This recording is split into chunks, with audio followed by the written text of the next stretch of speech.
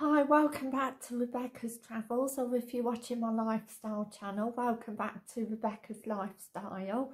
And um, today, um, it's still quite cool. Um, it has been sunny though, but it's also been cloudy. Um, today the weather. Um, so uh, today I'm going to be doing Travel News Worldwide 10 Exciting Facts March 2022 Part 2. This is a, according to breakingtravelnews.com. So I'm going to fire away with um, Exotica Resort and Spa. The Palm welcomes its first guest Taj Exotica Resort Plus Spa, the Palm has uh, welcomed its first guest in Dubai, nestled between the Arabian Sea and the city skyline.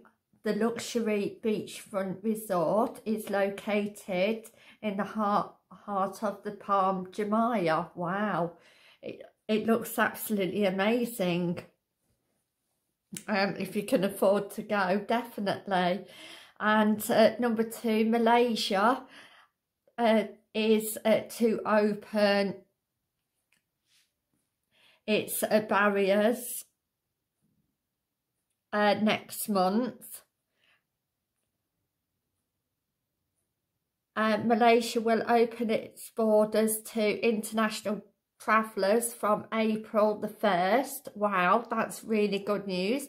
The decision comes as the country transitions to an endemic phase of the pandemic, boosting the aviation and tourism sectors. That's really good news because that's what we need all the way around the world. And number three, Wizz Air Abu Dhabi adds new Sri Lanka connection. Wizz Air Abu Dhabi has launched a new route from Abu Dhabi to Matia, Sri Lanka, excuse my pronunciation. Flights to the destination are scheduled on Monday, Wednesday and Friday.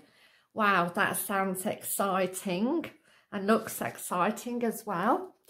And uh, number four, MSC, Ma Villinga, excuse my pronunciation, to sail from New York, York year round. So an essay, Ma Villinga,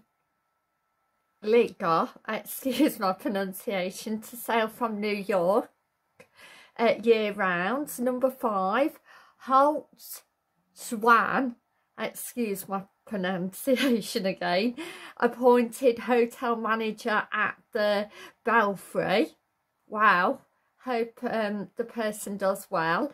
Number six, APT unveils 2023 European Cruise Programme. Wow, uh, that's really exciting. Um, and number seven, Qatar Airways to add uh, to the network in June. So that's great news. And uh, number eight, Gatwick looks Number eight, Gatwick looks ahead uh, to successful summer as losses narrow. And number nine, Intercontinental Rasta Kamara airing Al Arab Resort makes its debut. It looks fantastic. And last but not least, Saudi Arabia basically gets rid of all uh, COVID-19 restrictions. Yay, that's really good news.